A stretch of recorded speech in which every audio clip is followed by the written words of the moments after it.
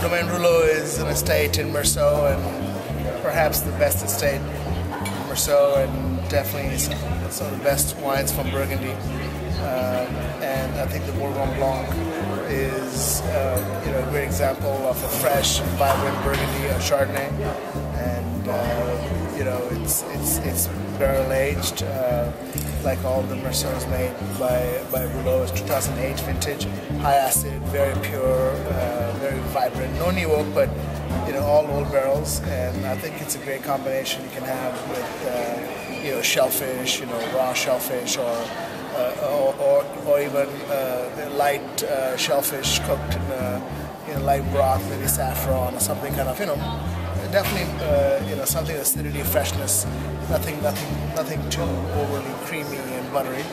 One of my favorite producers uh, from the Mosel in Germany, uh, AJ Adams, Hofberg Kabinett, 2008. Another very fresh, vibrant, high acid wine. Kabinett's a little bit of sweetness, fruity style wine. Uh, AJ Adams, a great small producer from, from the Mosel, and you know a dish I love to have with some some Asian flavors, maybe some Vietnamese, even some Thai, some Thai flavors.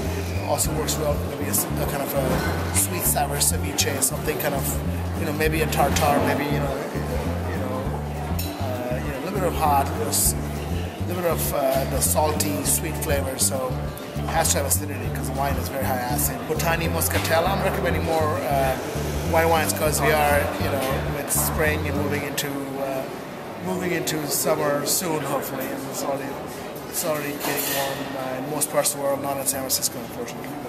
But, Botani Moscatel, uh, muscat, uh, dry muscat made from Malaga, southern part of uh, Spain, in uh, in the town right on the right right by the by the Atlantic. Uh, so wine made by Alois Kracher in in partnership with Jorge Ordonez. So it's called Botani. It's a muscat you know, I, I, like to have this this wine with uh, more with uh, you know sardines or anchovies or you know clams, like cooked clams, um, you know, with garlic. Something simple, but it's very aromatic wine, so you can have a earthy flavor of sardine or anchovies to work with with an aromatic wine like uh, like Botani. And another great white wine of the season in the spring I love is I love uh, Blanc from the Loire Valley. We have uh, Domaine Tailleur made by Jacky Blot. It's a Mont Montlouis is the appellation. 2008 from the Loire Valley, 100% uh, Blanc. Uh, very exotic note, note uh, on the nose, which is uh, more like you know uh, honey and peaches and apricot and uh, you know very intense flavor, orange zest, rich palate, medium full body, very high acid and uh, you know this is a great dish to have with something like uh, you know the salmon or Arctic char, uh, some kind of something sautéed with some richness. It's a rich wine with acidity, so you know a sauce which could be made of citrus, maybe a citrus beurre blanc or something as simple as that, or even as complex as maybe a, a nage made with uh, you know with some kind of shellfish. Uh, but again, intense, more powerful, definitely richer than, than previous wines. Staying in, in, in, California, one of the one of the great great Pinot Noirs from Santa Cruz Mountain, Mount Eden Pinot Noir, 2007 from Santa Cruz. Uh, a lighter style, a very delicate Pinot Noir made with great intensity. So it's you know it's more the nose is more of cherry and cola and licorice. Uh, uh, medium light bodied, but great balance of acidity and fruit.